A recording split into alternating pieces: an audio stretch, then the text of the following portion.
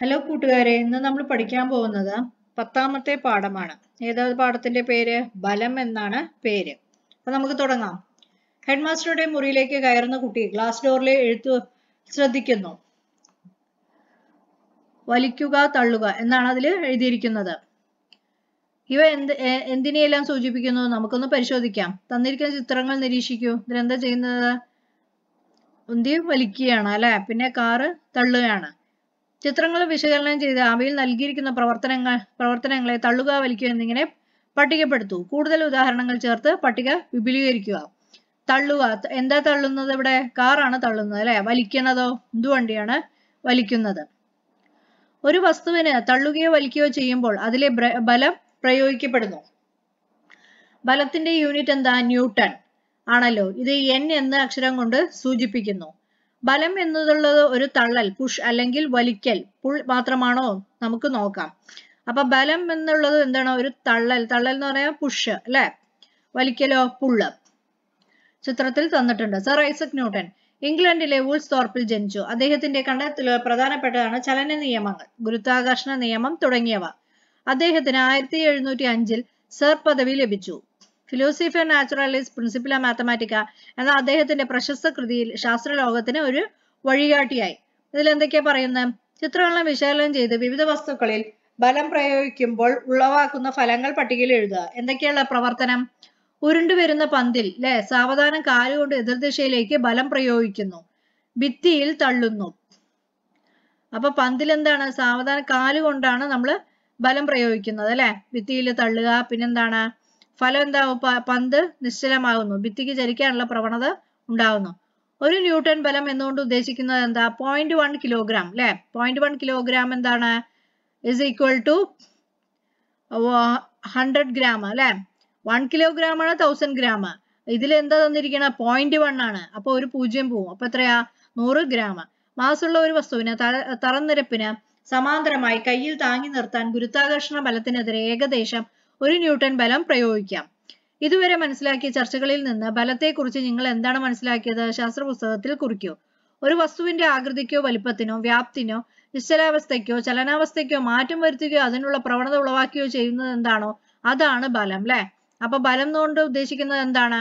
ഒരു വസ്തുവിന്റെ ആകൃതി ആകൃതിക്കോ വലിപ്പത്തിനോ വ്യാപ്തത്തിനോ എന്തെങ്കിലും ഒരു മാറ്റം സംഭവിക്കുകയാണെങ്കിൽ അതിനെയാണ് നമ്മൾ ബലം എന്ന് പറയുക. വിവിധതരം ബലങ്ങളുണ്ട്.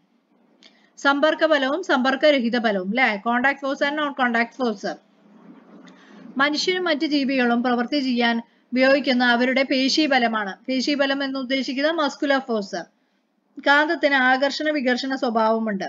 കാന്തം പ്രയോഗിക്കുന്ന ഈ ബലത്തെ അല്ലെ കാന്തം എന്ത് ബലമാണോ പ്രയോഗിക്കുന്നത്? അതിനെ കാന്തിക ബലം എന്നും കാന്തിക ബലം അതായത് മാഗ്നറ്റിക് ഫോഴ്സ് എന്ന് പറയുന്നു. മുടിയുരസി പ്ലാസ്റ്റിക് പേനയ്ക്ക് ചെറിയ കടലാസു കഷ്ണങ്ങളെ ആകർഷിക്കാൻ കഴിയുന്നത് സ്ഥിത വൈദ്യുത ബലം ദാറ്റ് ഈസ് ഇലക്ട്രോസ്റ്റാറ്റിക് ഫോഴ്സ് കാരണമാണ്. അപ്പൊ എന്താണ്? ഇവിടെ എന്താ പറഞ്ഞത്? കാന്തത്തിന് ആകർഷിക്കാനും വികർഷിക്കാനുള്ള സ്വഭാവമുണ്ട് അല്ലെ? മുടിയിൽ ഉരസിയ പ്ലാസ്റ്റിക് പേനയ്ക്ക്. പ്ലാസ്റ്റിക് നമ്മൾ മുടിയിൽ ഇങ്ങനെ ഉരസിയിട്ട് പ്ലാസ്റ്റിക് പേന ചെറിയ കടലാസ് കഷ്ണങ്ങൾ അടുത്ത് വെക്കുമ്പോൾ എന്താവും? അതിനെ ആകർഷിക്കാനുള്ള കഴിവുണ്ട്. പ്രപഞ്ചത്തിലെ വസ്തുക്കൾ നമ്മൾ തമ്മിൽ ആകർഷിക്ക ആകർഷണ ബലമുണ്ട്. ഇത്തരം ആകർഷണ ബലത്തെ നമ്മൾ എന്താ പറയുന്നത്? ഗ്രാവിറ്റേഷൻ ഫോഴ്സ് അഥവാ ഗുരുത്വാകർഷണ ബലം എന്ന് പറയപ്പെടുന്നു.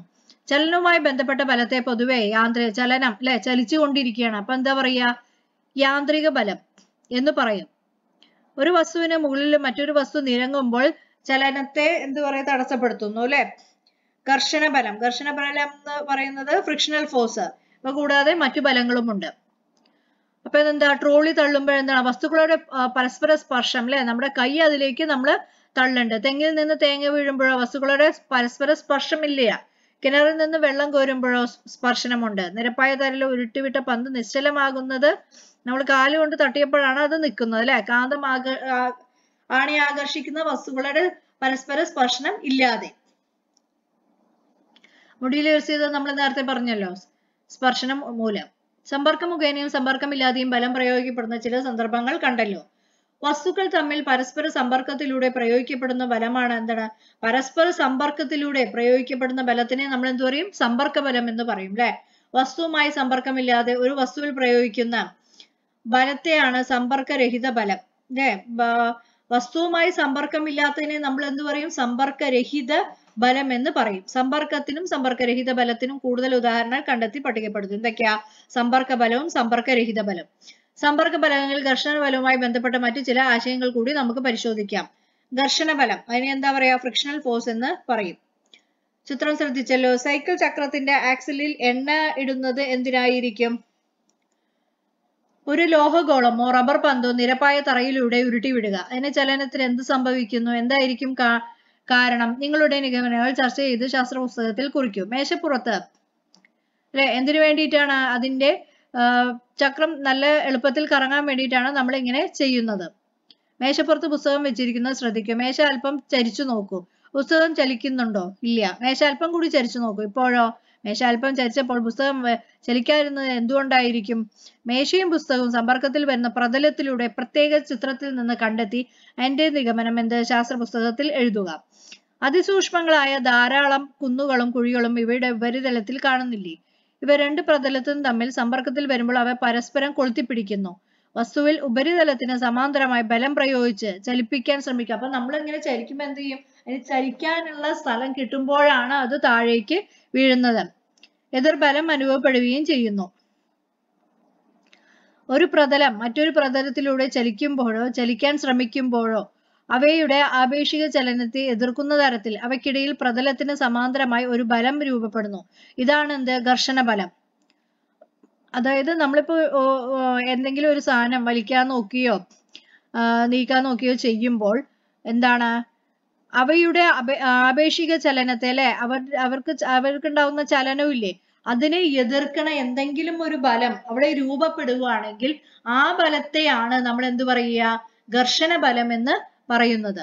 വസ്തുക്കൾ തമ്മിൽ എല്ലാ സമ്പർക്ക ചലനത്തിലും അവൽക്കിടയിൽ എതിർബലം ഒരുപോലെയാണോ അനുഭവപ്പെടുന്നത്? നമുക്ക് നോക്കാം. ഘർഷണം വിവിധ തരം.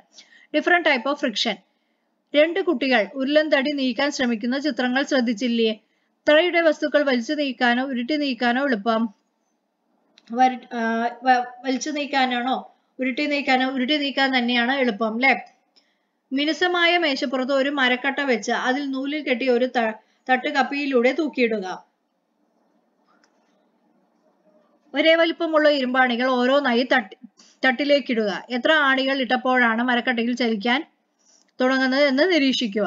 ഇനി മരക്കട്ടയ്ക്കും പ്രതലത്തിലും ഇടയിൽ ചില ദിശയ്ക്ക് ലംബമായി രണ്ട് ഉരുളൻ പെൻസിലുകൾ വെച്ച് പ്രവർത്തനം ചെയ്തു നോക്കുക. എത്ര അണികൾ തട്ടിലിടുമ്പോഴാണ് മരക്കട്ട ചലിക്കാൻ തുടങ്ങുന്നത് അല്ലെ? നമ്മൾ എത്രത്തോളം ഭാരമാണോ ആ ത്രാസിലേക്ക് കൊടുക്കുന്നത് ആ ഭാരത്തിന്റെ തോത് കൂടുമ്പോഴാണ് എന്ത്? പുസ്തകത്തിന്റെ ഭാരത്തിനേക്കാൾ ഭാരം കൂടുമ്പോഴാണ് എന്ത്? പുസ്തകം ചലിക്കാൻ തുടങ്ങുക. പെൻസിൽ ഉപയോഗിച്ച് ഉരുളി നീട്ടിയപ്പോഴാണ് കൂടുതൽ ബലം പ്രയോ പ്രയോഗിക്കേണ്ടി വന്നത്. എങ്കിൽ കുറഞ്ഞ പ്രതില എതിർബലം അനുഭവപ്പെട്ടത് ഏത് സന്ദർഭത്തിലാണ്? ഒരു വസ്തു മറ്റൊരു വസ്തുവിന് മുകളിലൂടെ ഉരുട്ടി നീങ്ങുമ്പോൾ അനുഭവപ്പെടുന്ന ഘർഷണ ബലമാണ് ഉരുളൽ ഘർഷണം. അല്ലെ? നമ്മളൊരു വസ്തു നീക്കുന്ന സമയത്ത് അതിന്റെ മുകളിലൂടെ വേറൊരു ബലം പ്രയോഗിക്കുകയാണ്. അതിനെന്താ പറയാ ഘർഷണ ബലം എന്ന് പറയുന്നു. ആ ഘർഷണ ബലമാണെന്ത് ഉരുളൽ ഘർഷണം റോളിംഗ് ഫ്രിക്ഷൻ ഒരു വസ്തു മറ്റൊരു വസ്തുവിന് മുകളിലൂടെ നിരക്കി നീക്കുമ്പോൾ അനുഭവപ്പെടുന്ന ഘർഷണം ആണെന്ത്? നിരങ്ങൽ ഘർഷണം സ്ലൈഡിംഗ് ഫ്രിക്ഷൻ ഉരുളൽ ഘർഷണം നിരങ്ങൽ ഘർഷണേക്കാൾ കുറവായിരിക്കും. വാഹനങ്ങൾക്ക് ചക്രങ്ങൾ ഉപയോഗിച്ചത് ഘർഷണം കുറ- കുറയ്ക്കാനാണ്. ഉരുളൽ മുഖേന ഘർഷണം കുറയ്ക്കുന്ന സന്ദർഭങ്ങൾ കണ്ടെത്തി ശാസ്ത്ര പുസ്തകത്തിൽ കുറിക്കുക. നിത്യജീവിതത്തിൽ ഘർഷണം പ്രയോജനപ്പെടുത്തുന്ന നിരവധി സന്ദർഭങ്ങളുണ്ട്. എന്നാൽ ഘർഷണം കൊണ്ട് ചില ദോഷങ്ങളുമുണ്ട്. എന്തൊക്കെയാ അത് ഘർഷണം ഗുണകരമാകുന്നതും ഗുണകരമല്ലാത്തതുമായ ചില സന്ദർഭങ്ങൾ വന്നിരിക്കുന്നു.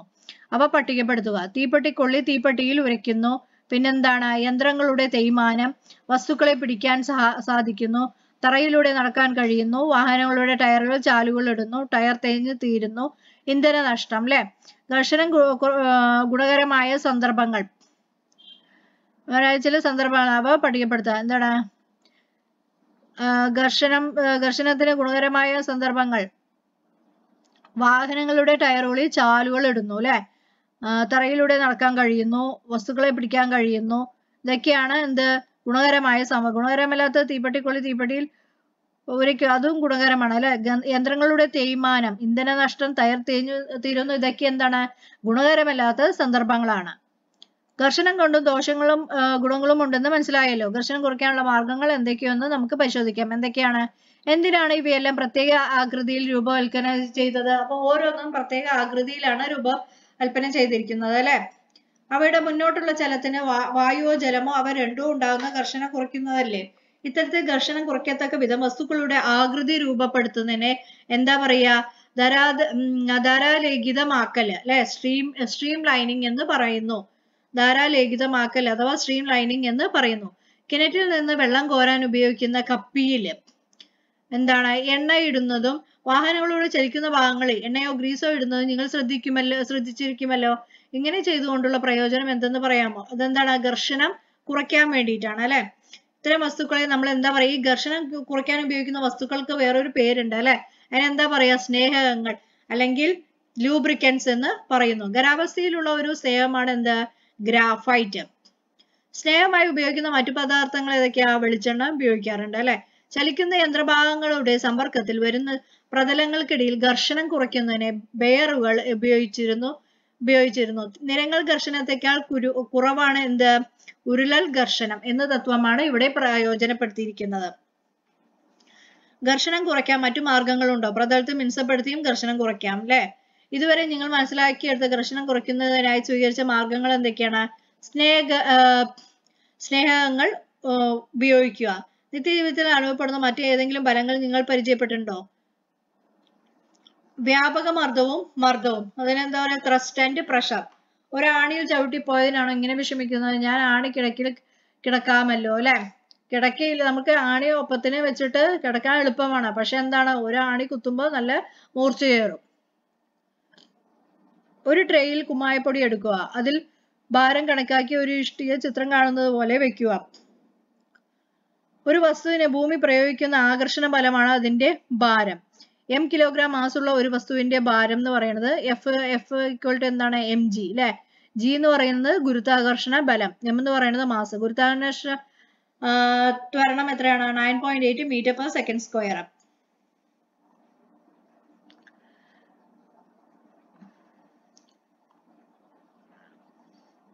Blaise Pascal ആയിരത്തി അറുന്നൂറ്റി ഇരുപത്തി മൂന്ന് ജൂൺ പത്തൊമ്പതിന് ഫ്രാൻസിൽ ജനിച്ചു. ഗണിതശാസ്ത്രത്തിലും ഊർജതന്ത്രത്തിലും നിരവധി സംഭാവനകൾ നൽകി. മർദ്ദത്തെ സംബന്ധിച്ച് ഇദ്ദേഹം കണ്ടെത്തിയ നിയമമാണ് എന്ത്? പാസ്കൽ നിയമം. മർദ്ദത്തിന്റെ യൂണിറ്റായ പാസ്കൽ എന്നത് ഇദ്ദേഹത്തിന്റെ ബഹുമാനാർത്ഥമാണ് നൽകിയിരിക്കുന്നത്. ആയിരത്തി അറുന്നൂറ്റി അറുപത്തിരണ്ട് ആഗസ്റ്റ് പതിനഞ്ചിന് പാസ്കൽ അന്തരിച്ചു. കുമ്മായപ്പൊടിയിൽ ഇഷ്ടിക ഏതു രീതിയിൽ വെച്ചാലും ഇഷ്ടിക പ്രയോഗിക്കുന്ന ആകെ ബലം എന്തായിരിക്കും? യൂണിറ്റ് പരപ്പളവിന്റെ ഇഷ്ടിക പ്രയോഗിച്ച ബലത്തിന്റെ അളവ് എപ്പോഴും ഒരുപോലെയാണോ? നിങ്ങളുടെ കണ്ടത്തിൽ ഒരു പ്രതലത്തിൽ അനുഭവപ്പെടുന്ന ആകെ ബലവും അതിന്റെ യൂണിറ്റ് പരപ്പളവത്തിൽ അനുഭവപ്പെടുന്ന ആകെ ബലവും വ്യത്യസ്തമാണെന്ന് മനസ്സിലായില്ലേ? ഒരു പ്രതലത്തിൽ ലംബമായ ലംബമായി അനുഭവപ്പെടുന്ന ആകെ ബലത്തെ നമ്മൾ എന്ത് പറയും? വ്യാപകമർദ്ദം എന്ന യൂണിറ്റ് പരപ്പളവിൽ അനുഭവപ്പെടുന്ന വ്യാപകമർദ്ദത്തെ മർദ്ദം എന്ന് പറയുന്നു. അപ്പൊ മർദ്ദം എന്ന് പറയുന്നത് എന്താണ്? വ്യാപകമർദ്ദം ഡിവൈഡഡ് ബൈ പരപ്പളവ്. ഈ വാക്യത്തിൽ നിന്ന് മർദ്ദത്തിന്റെ unit newton per metre square എന്ന് ലഭിക്കുന്നു. ഇത് പാസ്കൽ എന്ന് അറിയപ്പെടുന്നു. അപ്പം മർദ്ദത്തിന്റെ യൂണിറ്റ് എന്താണ്? Newton per metre square. അതിനെയാണ് നമ്മൾ എന്ത് പറയുക? പാസ്കൽ എന്ന് പറയുന്നത്. നിങ്ങൾ ചെയ്ത പരീക്ഷണത്തിലെ എല്ലാ സന്ദർഭങ്ങളിലും ഇഷ്ടിക പ്രയോഗിച്ച് ആകെ ബലത്തിന് വ്യത്യാസമുണ്ടോ? ഇഷ്ടികയുടെ പരപ്പളവ് ഏറ്റവും കുറഞ്ഞ സമ്പർക്ക ബലം എന്താണ്? ഇഷ്ടിക ഏതു രീതിയിൽ വച്ചപ്പോഴാണ് കുമ്മായപ്പൊടിയിൽ കൂടുതൽ ആഴങ്ങൾ ആഴത്തിൽ കുഴിയുണ്ടായത്. പരപ്പളവ് ഏറ്റവും കൂടുതലുള്ള സമ്പർ സമ്പർക്ക പ്രതലം കുമ്മായപ്പൊടിയിൽ വച്ചപ്പോൾ ഉണ്ടായ കുഴിയുടെ ആഴം മറ്റു പ്രതലത്തിൽ വച്ചപ്പോഴുള്ള കുഴിയെ അപേക്ഷിച്ച് കൂടുതലോ കുറവോ? നിങ്ങളുടെ കണ്ടെത്തലുകൾ കൂട്ടുകാരുമായി ചർച്ച ചെയ്ത് എഴുതുക അതായത് പട്ടികയിൽ നിന്ന് നമുക്ക് എന്താ മനസ്സിലാക്കുക പ്രതലത്തിന്റെ പരപ്പളവ് അനുസരിച്ചാണ് മർദ്ദനത്തിൽ ഏറ്റക്കുറവ് അല്ലെ? എത്രയാണോ അതിന്റെ പരപ്പളവ് അതനുസരിച്ചിട്ടാണ് എന്ത് മർദ്ദത്തിൽ ഏറ്റക്കുറച്ചിലുകൾ ഉണ്ടാവുന്നത്. ഒരു നിശ്ചിത ബലം പ്രയോഗിക്കുമ്പോൾ സമ്പർക്കത്തിൽ വരുന്ന പ്രതലത്തിന്റെ പരപ്പളവ് കൂടുമ്പോൾ എന്ത് ചെയ്യും? പരപ്പളവ് കൂടുമ്പോൾ മർദ്ദം കുറയുകയും പരപ്പളവ് കുറയുമ്പോൾ മർദ്ദം കൂടുകയും ചെയ്യുന്നു. ആണിക്കിടക്കിയിൽ കിടക്കാമെന്ന് പറഞ്ഞതിന്റെ പൊരുൾ ഇപ്പോൾ മനസ്സിലായില്ലേ? അപ്പൊ എന്താ? പ്രതലത്തിന്റെ പരപ്പളവ് കൂടുമ്പോൾ മർദ്ദം കുറയുന്നു. അതാണ് ഈ ഇതിൽ ഈ സന്ദർഭത്തിൽ പ്രയോജിച്ചിരിക്കുന്നത് കത്തിയുടെ വായുതല കനം കുറച്ച് നിർമ്മിക്കുന്നു. കെട്ടിടങ്ങളുടെ അടിത്തറ വീതി കൂട്ടി നിർമ്മിക്കുന്നു. യുദ്ധ ടാങ്കുകൾ അതുപോലെ മറ്റു വാഹനങ്ങളുടെ ചക്രങ്ങൾ വീതി കൂട്ടിയ ചങ്ങലകൾ കൊണ്ട് ബന്ധിപ്പിക്കുന്നു. തുന്നൽ സൂചിയുടെ അഗ്രം കൂർത്തതായി നിർമ്മിച്ചിരിക്കുന്നു. ഖരവസ്തുക്കളിൽ മാത്രമാണോ മർദ്ദം പ്രയോഗിക്കുന്നത്? നമുക്കതൊന്ന് പരിശോധിക്കാം അല്ലെ ദ്രാവക മർദ്ദം. ദ്രാവക മർദ്ദത്തിന് എന്താ പറയുക? ലിക്വിഡ് പ്രഷർ എന്ന് പറയും. കാണുന്നത് പോലെ ഒരേ പോലുള്ള എ ബി സി എന്ന ബലൂണുകൾ അല്ലെ ഒരു പി വി സി പൈപ്പിൽ നമ്മൾ ഘടിപ്പിച്ചിട്ടുണ്ട്. പൈപ്പിൽ ബലം നിറച്ച ബലൂണുകളുടെ വികാസം നിരീക്ഷിക്കൂ. ഏത് ബലമാണ് കൂടുതൽ ബലൂണാണ് കൂടുതൽ വികസിച്ചത്? എന്തായിരിക്കും കാരണം? ഇതൊക്കെ നമുക്ക് എഴുതാം. ദ്രാവകങ്ങളിൽ അനുഭവപ്പെടുന്ന മർദ്ദം. അതിനെ മുകളിലേക്കുള്ള ദ്രാവക ദ്രാവക വിപത്തിന്റെ ഉയരത്തെ ആശ്രയിച്ചിരിക്കുന്നു. കുഴലിനകത്ത് കൂടുതൽ ജലം ഒഴിച്ച് ജലനിരപ്പ് ഉയർത്തുക. ബലൂണുകൾക്ക് കൂടുതൽ വികാസം അനുഭവിക്കാനുള്ള കാരണം എന്താണെന്ന് മനസ്സിലായില്ലേ? ദ്രാവക രൂപ രൂപത്തിൽ ഉയരം കൂടുന്നതിനനുസരിച്ച് അത് പ്രയോഗിക്കുന്ന മർദ്ദവും കൂടുന്നു അല്ലെ? ഉയരം കൂടുമ്പോൾ എന്താണ്? മർദ്ദം കൂടും. ഒരു ദ്രാവക യൂണിറ്റ് ഒരു ദ്രാവക യൂണിറ്റ് പരപ്പളവിൽ പ്രയോഗിക്കുന്ന വ്യാപക മർദ്ദത്തെ എന്താ പറയുക? ദ്രാവക മർദ്ദം എന്ന് പറയുന്നു. അപ്പൊ എന്താണ്? ഉയരം ദ്രാവകത്തിന്റെ ഉയരം കൂടുമ്പോൾ മർദ്ദം കൂടും. അതുപോലെ പരപ്പളവിൽ എത്രമാത്രമാണോ നമ്മൾ മർദ്ദം പ്രയോഗിക്കുന്നത്. ദ്രാവകത്തിന്റെ യൂണിറ്റിന്റെ പരപ്പളവിന്റെ കാര്യമാണ് ഇപ്പൊ പറയുന്നത്. അപ്പൊ അതിൽ എത്രമാത്രമാണോ നമ്മൾ മർദ്ദം പ്രയോഗിക്കുന്നത് അതിനെയാണ് ദ്രാവക മർദ്ദം എന്ന് പറയുന്നു. ദ്രാവകങ്ങൾ അത് സ്ഥിതി ചെയ്യുന്ന പാത്രത്തിന്റെ എല്ലാ വശങ്ങളിലും ബലം പ്രയോഗിക്കുന്നുണ്ട് അല്ലെ? ദ്രാവക ഉയരം അത് പ്രയോഗിക്കുന്ന മർദ്ദത്തെ സ്വാധീനിച്ചത് കണ്ടല്ലോ. ഒരു പരീക്ഷണം കൂടി ചെയ്തു നോക്കൂ. എന്താണ്? സമാനമായ രണ്ട് പി വി സി പൈപ്പുകൾ എടുത്ത് അടിവശത്ത് ഒരേപോലുള്ള ബലൂണുകൾ കാണുന്ന പോലെ നന്നായി ഉറപ്പിക്കുക. P P P V C പൈപ്പിൽ ഒന്നിൽ മണ്ണെണ്ണയും അടുത്തതിൽ എന്താണ്? ജലവും എടുത്തു. എന്താ നിരീക്ഷിക്കുന്നത്? ബലൂണിന്റെ വികാസം വ്യത്യാസപ്പെട്ടത് എന്തുകൊണ്ടായിരിക്കും? ചർച്ച ചെയ്യുക. അതുകൊണ്ട് നിരീക്ഷിച്ച പരീക്ഷണത്തിന് ദ്രാവക മർദ്ദത്തെ സ്വാധീനിക്കുന്ന ഘടകങ്ങൾ എന്തെല്ലാമാണെന്ന് നമുക്ക് എഴുതാം. ഇതുവരെ ചെയ്ത പരീക്ഷണം ദ്രാവക മർദ്ദത്തെ സ്വാധീനിച്ച ഘടകങ്ങൾ എന്തെല്ലാമാണെന്ന് നമുക്ക് ലിസ്റ്റ് ചെയ്യാം. ദ്രാവകത്തിന്റെ ദ്രാവക രൂപത്തിന്റെ ഉയരം ദ്രാവത്തിന്റെ സാന്ദ്രത. മറ്റൊരു വിധത്തിൽ പറഞ്ഞാൽ യൂണിറ്റ് പരപ്പിലെ അളവിലുള്ള ദ്രാവക രൂപത്തിന്റെ ഭാരത്തിന് അനുപാതികമായാണ് എന്ത്? ദ്രാവക മർദ്ദം ഉണ്ടാവുക അല്ലെ?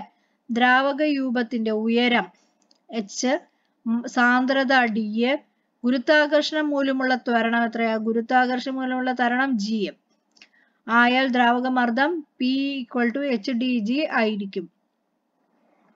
ദ്രാവകങ്ങളെ പോലെ വാതകങ്ങൾക്ക് മർദ്ദം പ്രയോഗിക്കാൻ കഴിയുമോ? പരിശ- പരിശോധിക്കാം അല്ലെ? അന്തരീക്ഷ മർദ്ദം അറ്റ്മോസ്ഫിയറിക് പ്രഷർ ഉയരമുള്ള ഒരു കുപ്പിയിൽ അല്പം കടലാസ് കത്തി കത്തിച്ചിടുക. കടലാസ് കത്തി തീരാറാകുമ്പോൾ നന്നായി പഴുത്ത ഒരു പഴം അല്പം തൊലി നീക്കി കുപ്പിയുടെ വായുഭാഗത്ത് വെക്കുക. എന്ന് നിരീക്ഷിക്കുന്നു. എന്തായിരിക്കും കാരണം? കടലാസ് കത്തുമ്പോൾ അകത്തെ വായുവിൽ മർദ്ദത്തിന് എന്ത് സംഭവിക്കുന്നു? കുപ്പിക്കകത്തെ വായുവിന് മർദ്ദം കൂടുമ്പോഴും അത് വികസിപ്പിക്കുമ്പോഴും വായു പുറന്തള്ളപ്പെടുമോ? കുപ്പിയുടെ വായുഭാഗം പഴം കൊണ്ട് അടച്ചതിന് ശേഷം കുപ്പിയിലെ വായുമർദ്ദം എങ്ങനെയായിരിക്കും? അന്തരീക്ഷ മർദ്ദമായി താരതമ്യം ചെയ്ത് ഉത്തരം കണ്ടെത്തുക. കുപ്പി തണുക്കുമ്പോഴോ? കുപ്പിക്കകത്തെ വായുമർദ്ദത്തേക്കാൾ പുറത്തെ അന്തരീക്ഷ വായുവിന്റെ മർദ്ദം കൂടുതലായതുകൊണ്ടാണ് പഴം കുപ്പിക്കകത്തേക്ക് നീങ്ങുന്നത് അല്ലെ? കാരണം എന്താണ്? കുപ്പിക്കകത്ത് വായുമർദ്ദം ഉണ്ട് അല്ലെ? പക്ഷെ പുറത്തെ അന്തരീക്ഷ വായുവിന് എന്താണ്? ഉള്ളിലുള്ളതിനേക്കാൾ മർദ്ദം കൂടുതലാണ്. അതുകൊണ്ടാണ് എന്ത്? പഴം കുപ്പിക്കകത്തേക്ക് നീങ്ങുന്നത്. ഈ പരീക്ഷണത്തിൽ നിന്ന് അന്തരീക്ഷ വായുവിന് മർദ്ദം പ്രയോഗിക്കാൻ കഴിയുമെന്ന് മനസ്സിലായി. അല്ലെ? ഒരു വടംവലിയുടെ കഥ. അന്തരീക്ഷ മർദ്ദത്തിന്റെ അസ്ഥിതത്വം തെളിയിച്ചത് മഗ്നിബർഗിയിലെ ഒട്ടോവാൻ ഗ്രേക്ക് ആണ് ചെമ്പ് കൊണ്ടുള്ള രണ്ട് അർദ്ധഗോളങ്ങളെ അദ്ദേഹം ഒരു വളയം കൊണ്ട് ബന്ധിപ്പിച്ചു. തുടർന്ന് അതിനകത്തെ വായു നീക്കം ചെയ്തു. ഗോളത്തിന്റെ ഇരുവശവും എട്ട് കുതിരകളെ വീതം ബന്ധിപ്പിച്ച് വലിച്ചിട്ടും അർദ്ധഗോളങ്ങളെ വേർപെടുത്താൻ കഴിഞ്ഞില്ല. അർദ്ധഗോളത്തിന്റെ ഉൾഭാഗം ശൂന്യമായതുകൊണ്ട് അകത്തെ മർദ്ദം കുറവും പുറത്തെ അന്തരീക്ഷ മർദ്ദം എന്താണ്? കൂടുതലുമാണ് അല്ലെ? ഭൂമിക്ക് ചുറ്റും വായുവിന്റെ ഒരാവരണമുണ്ട്. ഇതാണ് ഭൂമിയുടെ അന്തരീക്ഷം. അന്തരീക്ഷ വായുവിന്റെ സാന്ദ്രത ഭൂമിയുടെ പ്രതലത്തിനടുത്ത് കൂടുതലും മുകളിലേക്ക് പോകുമ്പോൾ എന്തായിരിക്കും? കുറവായിരിക്കും. അതിനാൽ മുകളിലേക്ക് പോകുന്തോറും അന്തരീക്ഷ മർദ്ദം കുറയും. ഭൂമിയുടെ ഉപരിതലത്തിൽ യൂണിറ്റ് പരപ്പളവിൽ അണുപ്പെടുത്ത വായുവിപത്തിന്റെ ഭാരമാണ് എന്ത് അന്തരീക്ഷ മർദ്ദം നിത്യജീവിതത്തിൽ അന്തരീക്ഷ മർദ്ദം പ്രയോജനപ്പെടുത്തുന്ന സന്ദർഭങ്ങൾ പട്ടികയാക്കുക. സ്ട്രോ ഉപയോഗിച്ച് എന്താണ് നമ്മൾ ജ്യൂസ് കുടിക്കണം അല്ലെ? അന്തരീക്ഷ മർദ്ദവുമായി ബന്ധപ്പെട്ട ചില പ്രസ്ഥാനങ്ങൾ തന്നിരിക്കുന്നു. ബഹിരാകാശ യാത്രികർ പ്രത്യേകതരം വസ്തുക്കൾ ധരിക്കുന്നു വസ്ത്രങ്ങൾ ധരിക്കുന്നു. പുരോഹിതർക്കോ ഉയരത്തിലുള്ള പോകുന്തോറും മുകളിലൂടെ എന്ത് വരും? രക്തസ്രാവം വരും. റബ്ബർ സക്കറുകളിൽ മിനുസമുള്ള പ്രതലത്തിൽ പതിപ്പിക്കാൻ സാധിക്കുന്നു. അന്തരീക്ഷ മർദ്ദം അളക്കാം എങ്ങനെ നമുക്ക് അളക്കാൻ പറ്റുക? ഭൂമിയുടെ ഉപരിതലത്തിൽ സമുദ്രനിരപ്പ് യൂണിറ്റ് പരപ്പിലുള്ള വായു യുപത്തിന്റെ ഭാരത്തെ എന്ത് പറയും? ഒരു അന്തരീക്ഷ മർദ്ദമായി കണക്കാക്കുന്നു. ഇതെത്രയാണ്? പോയിന്റ് ഏഴ് ആറ് ഉയരവും യൂണിറ്റ് പരപ്പളവ് അല്ലെ? ഒരു മീറ്റർ സ്ക്വയർ രസയൂപത്തിന്റെ ഭാരത്തിന് തുല്യമായിരിക്കും. ഇതാണ് എന്ത് പറയാ അന്തരീക്ഷ മർദ്ദം എന്ന് പറയാ സ്റ്റാൻഡേർഡ് അറ്റ്മോസ്ഫിയറിക് പ്രഷർ അന്തരീക്ഷ മർദ്ദത്തിന്റെ യൂണിറ്റ് ബാർ ആകുന്നു. അന്തരീക്ഷ മർദ്ദം അളക്കാൻ ഉപയോഗിക്കുന്ന ഉപ- ഉപകരണം എന്താണ്? ബാരോമീറ്റർ അപ്പൊ ഇത്രയുമാണ് നമ്മൾ ഈ പാഠഭാഗത്ത് നിന്ന് പഠിച്ചത്. നിങ്ങൾക്ക് ഇഷ്ടമായെങ്കിൽ ലൈക്ക് ചെയ്യുക ഷെയർ ചെയ്യാൻ സബ്സ്ക്രൈബ് ചെയ്യുക. Okay thank